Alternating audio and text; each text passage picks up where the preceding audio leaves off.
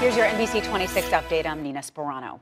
Wisconsin Governor Tony Evers says he will order closures of all non essential businesses starting tomorrow due to the coronavirus outbreak. The order encourages people to stay at home rather than make unnecessary trips. The order, according to Evers, would still allow workers providing essential care and services to continue traveling to and from work. Evers says he will be signing the order on Tuesday. The newer, tighter restrictions mirrors what other states have done, including neighboring Illinois. Here in Wisconsin, this is where we stand right now. As of this afternoon, there are 416 confirmed cases of coronavirus across the state. A total of five people have died, including one in Fond du Lac County.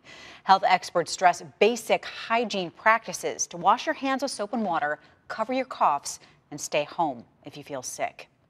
Bellin Health has opened a new respiratory clinic in De Pere. Health officials say it's meant to segregate individuals with respiratory, cold, and flu like symptoms.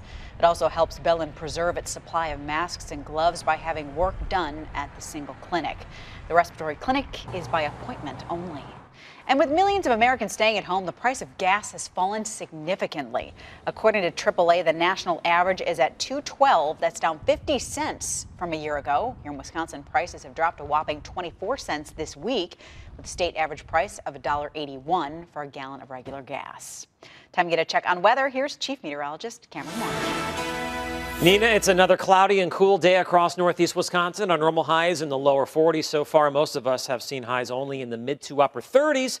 But if you look off to the west and to the southwest, temperatures are in the 40s and 50s. And some of that warmer weather is going to start to move in here tomorrow, but especially on Wednesday. So tomorrow, with plenty of clouds, some sunshine by the Early afternoon, we'll see temperatures getting up into the lower and mid 40s. That is slightly above normal for this time of year, but then we'll make a run for the lower 50s on Wednesday. For your latest news, sports, and weather, make sure you download the NBC 26 News app.